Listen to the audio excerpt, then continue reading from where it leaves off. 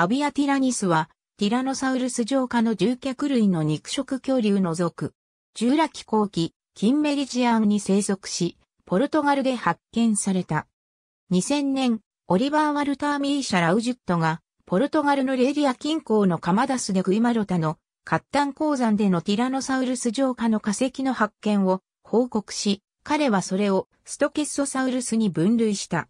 彼は2003年に標本の見直しを行って独立した属を設立し、模式種をアビアティラニス・ジュラシッカと命名し記載した。学名の意味は、ジュラ紀に由来する暴君の祖母を意味する。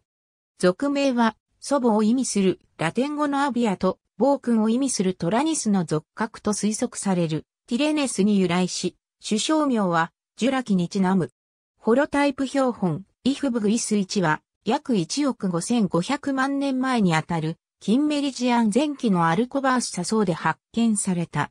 ラウジュットは、右の腸骨断片、イフブグイス2と、右の座骨イフブグイス3もアバティラニスのものとして2003年に記載した。これらの標本はわずかに大型の個体のものである。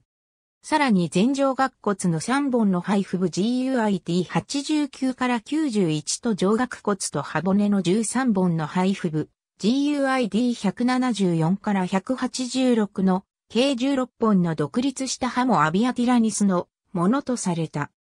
これらはかつてジェンズ人家により1998年にすでに記載されたものであるが、ラウジュットはストケッソサウルスに分類されている数々の化石は、実際にはアビアティラニスの化石の可能性があると考えていた。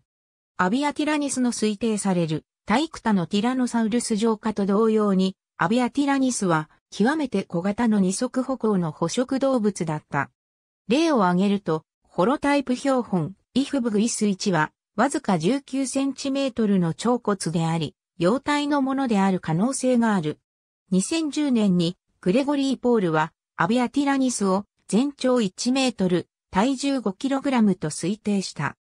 腸骨は長く伸びて低く、伝部の関節の上に位置する、外側のブレード状の表面にあるティラノサウルス上下に、典型的な垂直の隆起に付随する。前上顎骨の葉の断面は D 字型である。上顎骨と歯骨の葉は長く、先端部付近でのみ湾曲し、両端に挙手構造が備わっていた。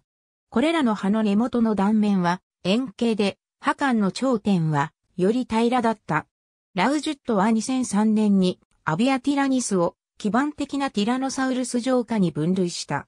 アビアティラニスはこれまでに発見されたティラノサウルス上下の中で最も古い属の一つであり、最古のものはプロケラトサウルス悪いはイリオスクスである。ありがとうございます。